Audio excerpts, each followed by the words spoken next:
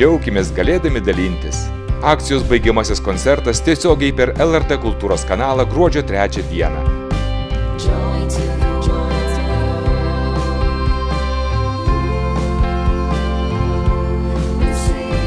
Daugiau apie akciją Dovanok šilumą LT. Akciją įgyvendina Show Art kūrybos studija. Rėmėjai.